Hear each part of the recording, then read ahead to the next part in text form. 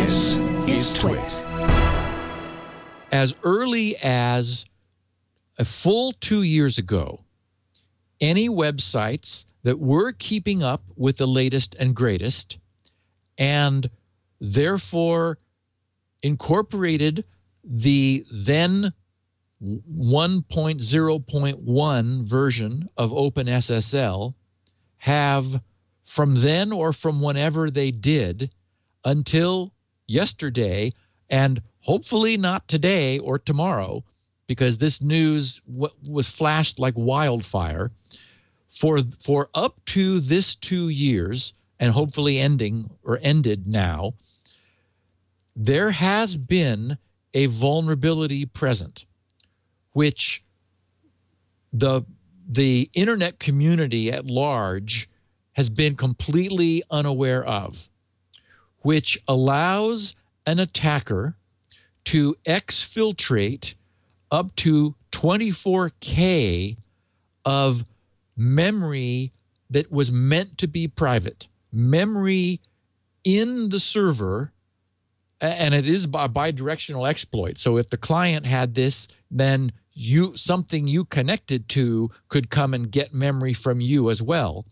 Um, but that's not where we're focused. We're, we're focused on the server because the guys who found the problem attacked themselves.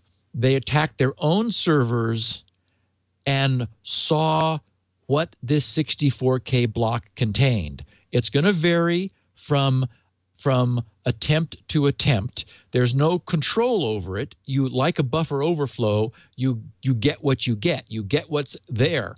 But unfortunately, 64K is a lot of memory and they found their server certificate in that 64K and other critical, crucial private information, passwords, and, and so forth. And in fact, Dan Goodin of Ars Technica has some nice coverage, which I'll share in a second. But uh, the the Tor project that is, of course, concerned about this. Their their systems are largely based on on OpenSSL uh, protocol as a, a, wrapper for what they do.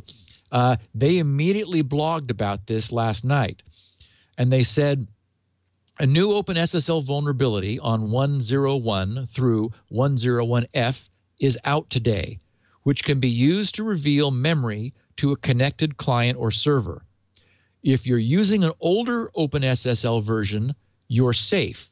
Meaning, if you're if you never went to 1.0.1, you know, uh, even recently, uh, 0.9.8 had been like a, still maintained in parallel with the you know so so so the the version 0.9.8 track was was was being kept up in parallel with the with the version 1.0.1 and so forth track so many people may have stayed safe and in fact we have some numbers about that that I'll share because it's not as bad as the 66% of the internet that the early reports have have said. It turns out that many fewer servers, for whatever reason, probably because they weren't using the latest version, did have this extension exposed and and therefore vulnerable.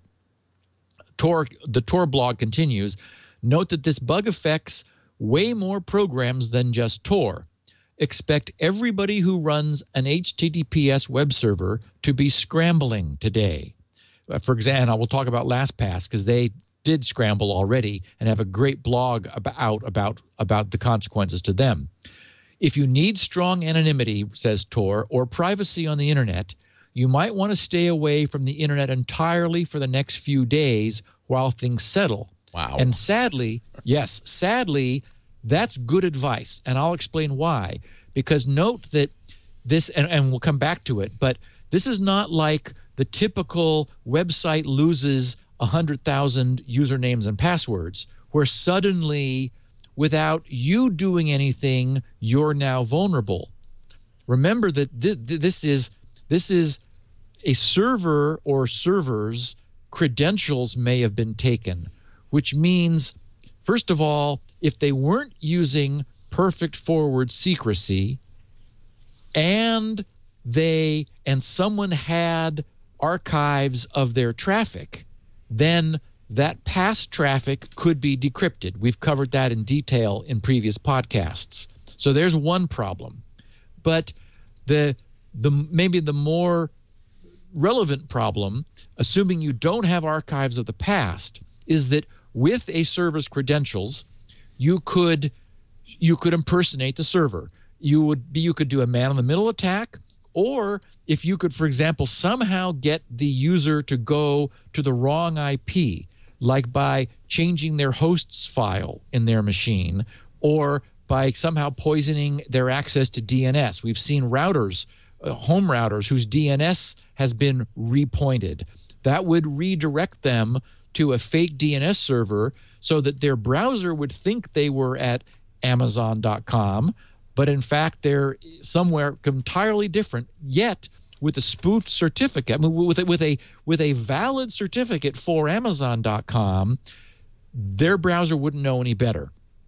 So, so the point is that it's it's connections we make now, connections we make to sites that may have been compromised going forward that we need to worry about. And so that also tells us that proper remediation for this is revocation of any cert any the, the the revocation of the certificates of any site that may have had its certificate stolen during this two year window or however long the window was.